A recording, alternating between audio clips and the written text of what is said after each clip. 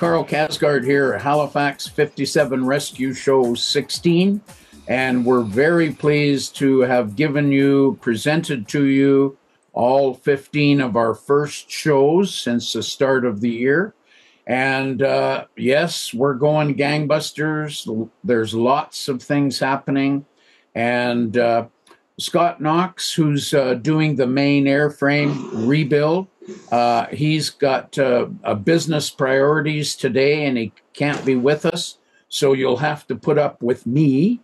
So let me explain that we have been, even though it's been a week, we've been making great progress. And I can tell you first about the Bomber Command Museum activities and we've got a, a, very nice video here showing all the hard work. We have a Hercules engine team that's rebuilding the Halifax bomber engines. And we've taken engine number two off the yellow engine run trailer.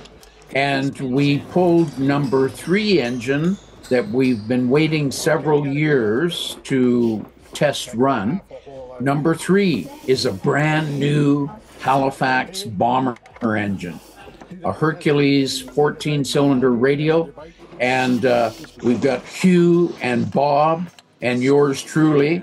And uh, we're putting the number three engine on the yellow trailer. And fingers crossed, within the next two weeks, we will do a test run of this uh, Hercules engine which has been sitting in a shop, in a crate, in England for over 50 years. Four out of six ain't bad. Now we're going to, we've uh, pre oiled it, we've inspected it internally, we've checked all the components, and now we're just about ready to run. So these are the informative, exciting days leading up to resurrecting, awakening a sleeping giant. Make that line up. 4G. How okay. I'm losing my hair. This is called Bristol Hercules. This is the reason for hair loss, okay? Okay, just wait. I'm within a 16th of an inch. Yeah, it's moving. And you'll see the guys are busting their buns to get another number three engine for the Halifax bomber. Is we got five out of six, and then you can't get that last pin in. It's one sixteenth of an inch to get that pin in, and if you're out that much, it doesn't go.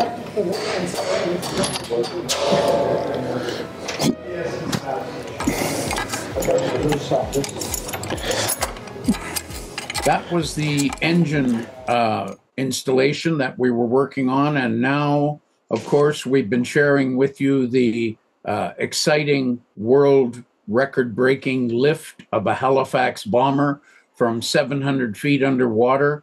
And uh, Dag Amerud and uh, the Norwegian team uh, got a hold of, uh, inserted the lifting device under the Halifax. And here's the money shot, folks.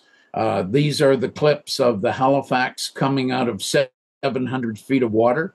And uh, it was an exciting time uh, for everyone. Unfortunately, I had to go back to Canada for a family emergency.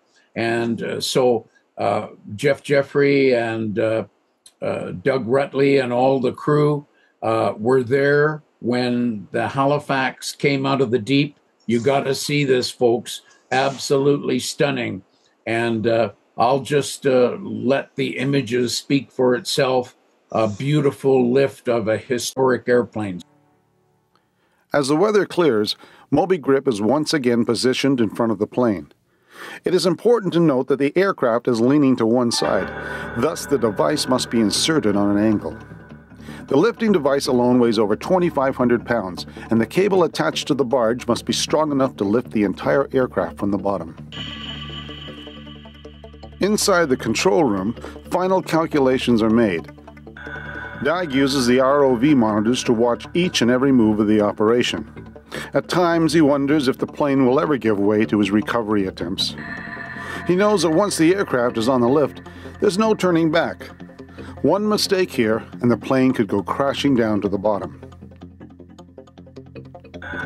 A final attempt is made to ease the lifting device into place. Steadied by the ROV and the extra guidelines attached to the tugboat on the surface, Moby Grip slides into position. Surprisingly, after a few moments, the gauges on the barge register to Dag and the crew that the plane has freed itself. The time has come to lift the plane.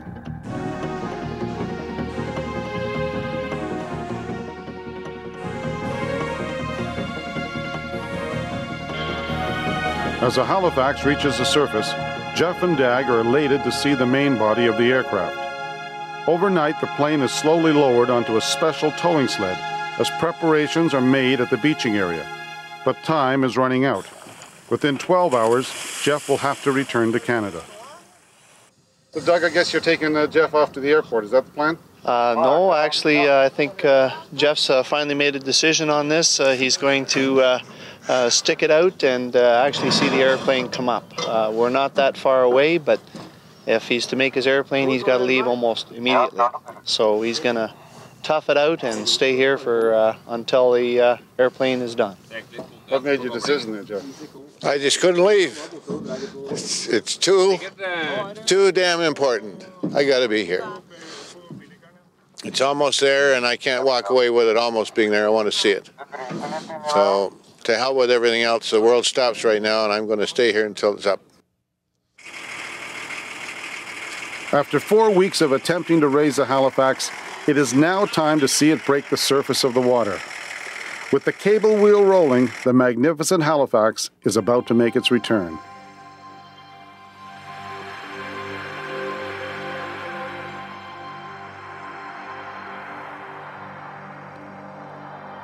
What an incredible story.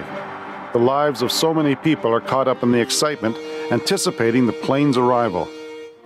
With powerful emotions changing by the minute, the Canadians, the British, and the Norwegians are about to see a dream come true. What many had said was an impossible mission is now becoming a reality. As the heavy cable continues to pull the Halifax towards the beach, we learn that this was not the first time Thomas Weightman had endured such a terrifying experience. Sometime before the mission over Norway with Halifax NA 337, Thomas had been on a training flight in another aircraft. The plane had gone down with a full crew on board, and incredibly, once again, Thomas had been the only survivor.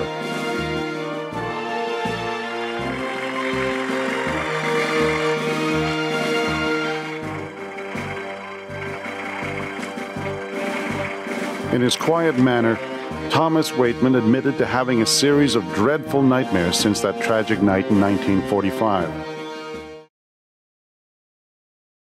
Jeff Jeffrey had a very special surprise for Thomas Weightman. When you took off, what did you take with you? Just a cup of uh, a flask of coffee. That was all, maybe. That was all. You don't have any coffee tonight.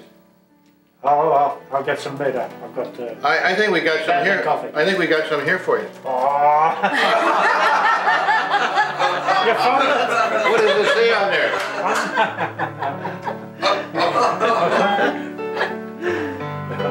You can't read your name? I can't. Oh, yeah. Keep going.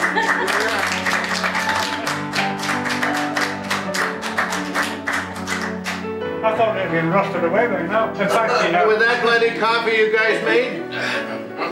have you tried it? Have you No, tried I, I, the wouldn't. I wouldn't dare. I wouldn't dare. That might be still hot. There you are.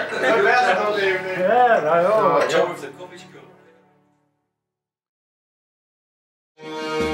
But now, as the aircraft is beginning to break the surface, there is something different in the air. This time it is a sign of hope, a sign of triumph.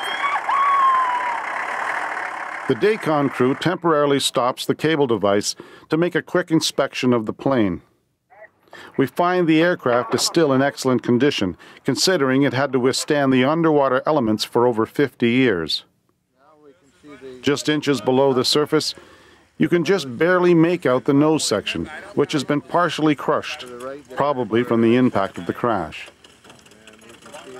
As Jeff studies the starboard wing, the engines, and the air intakes, he is confident that the plane can be restored to its original state.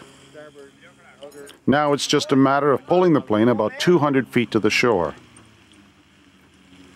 Even the cockpit appears to be intact. Some of the windows are gone, but you can see the incredible strength of the Halifax by the fact that the main spar and much of the fuselage have withstood this extraordinary lift from 750 feet down. What time is it, Jeff? I missed my airplane.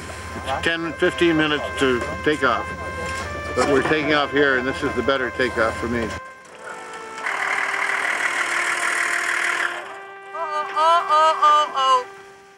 Another stunning setback. The special towing sled had been smashed, and now someone had to figure out how to lift the plane off the rocks. The next morning, Karl returns from Canada to see the Halifax for the first time. Well, there you have it, folks. An exciting adventure, more to come in the shows ahead.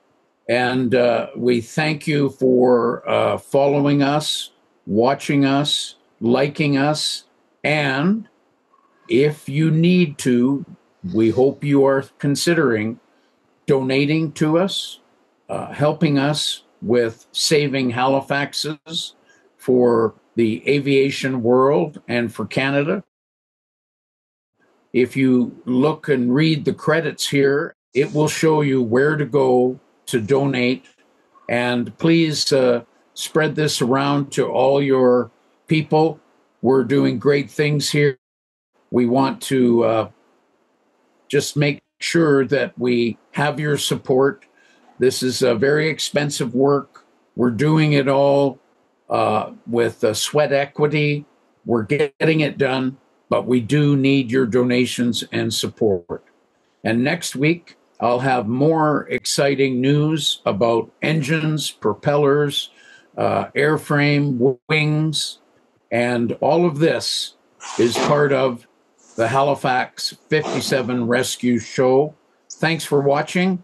And remember, we leave no Halifax behind.